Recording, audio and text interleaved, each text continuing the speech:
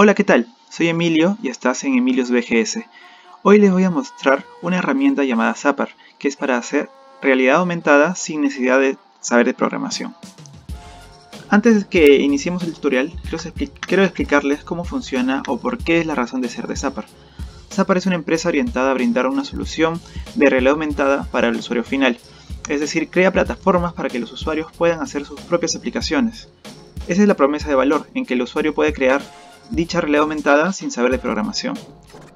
También un punto muy interesante que está orientado a este usuario final es que los paquetes de compra están a medida, es decir, eh, si has visto otras plataformas, los costos o los cobros para hacer realidad aumentada sin marcador, sin marcador de agua, por ejemplo, son muy elevados.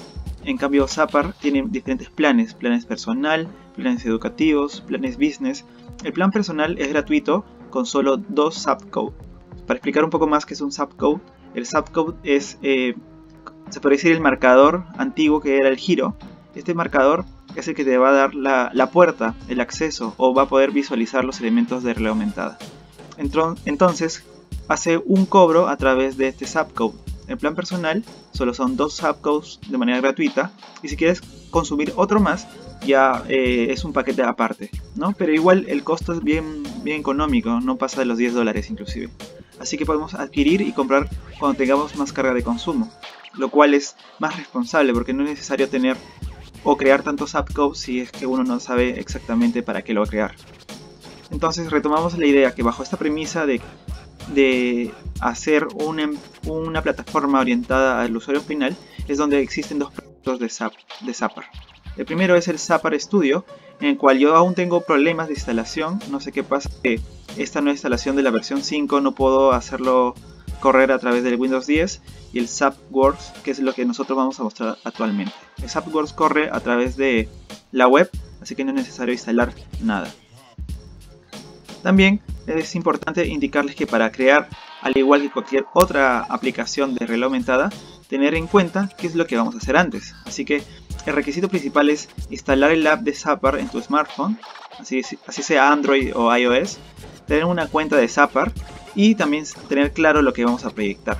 En nuestro caso, nosotros vamos a proyectar una aplicación en donde vamos a difundir el uno de los últimos videos que yo he creado en YouTube. Luego vamos a agregar un botón de suscribirse al canal y el logo de Medios BGS. Así que es demasiado sencillo y, fácil para iniciar con el proyecto.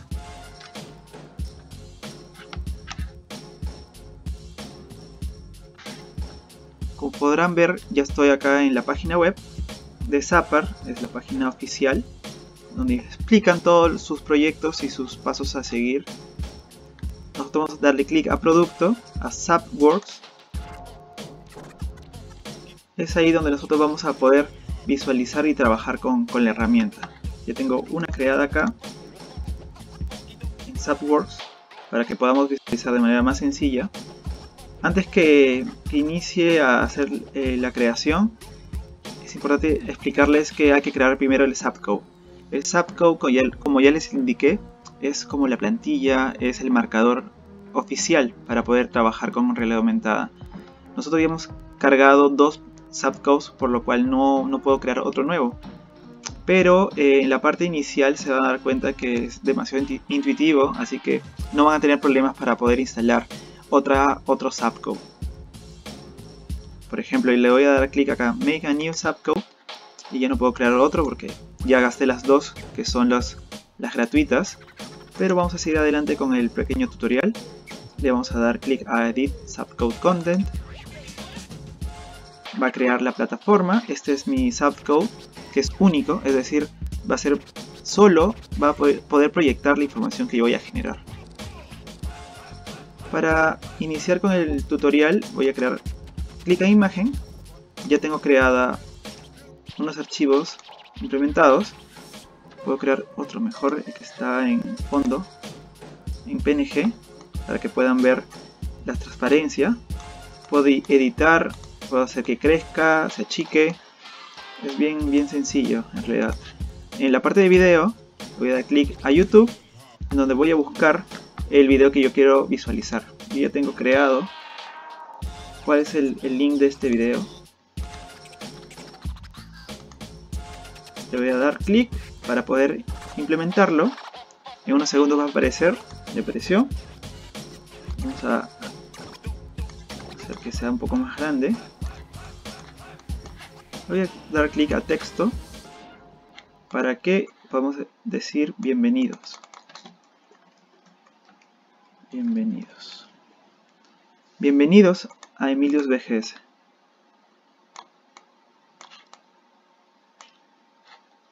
Acá ya está. Voy a crear un botón. Lo voy a poner aquí al lado. Y ya puedo editar. Cada opción que uno marque, abajo va a aparecer la visualización y también la forma de cómo podemos editarlo. En este caso, botón, voy a poner uno que se llama sus, suscríbete. ¿Y qué acción yo quiero que realice? Lo voy a checar un poco más, un poco grande. Suscríbete. La acción es que yo quiero que se vayan a un link. Este link es que yo ya creé, que es la URL de mi web, de mi página de YouTube, perdón. Si aún no estás en suscrito a mi página de YouTube, te invito a que lo hagas en este momento para que puedas ver más contenido. Ya creé esto. Ahora está el video de YouTube. Bienvenidos. Las imágenes también puedo yo generar un link. Vamos a poner el link de Emilios BGS.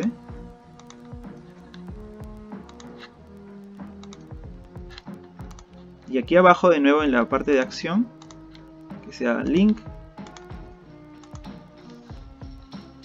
y sale bienvenidos a Emilios BGS, el video de YouTube y suscríbete. Le damos publicar. Esperemos que termine de realizarlo. Y ya, cuando ya termine de, de renderizar o termine de publicar, nosotros vamos a ir inmediatamente a la aplicación, vamos a buscar este subcode y vamos a previsualizar la información.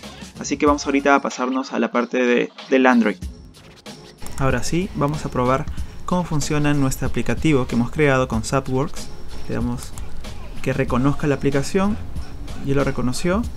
Le vamos a dar clic a video de YouTube. Acá pueden ver cómo carga. Cargó el video que yo he implementado. Luego le vamos a dar clic al botón de suscribirte. En suscríbete sale nuestra página de YouTube. Y luego bienvenidos de Emilios BGS que va a llevar hacia la página.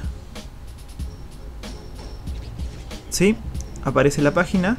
También, por ejemplo, si ponemos nuestra mano, se desenfoca todo nuestro marcador. Obviamente cuando comienza a cargar por primera vez ya se muestra y se queda permanentemente. Así que esto es toda la información del tutorial. Si tienen cualquier duda o sugerencia, son bienvenidas. Nos vemos en otro video aquí en este canal y en la página web de emiliosbgs.com. Hasta luego, bye.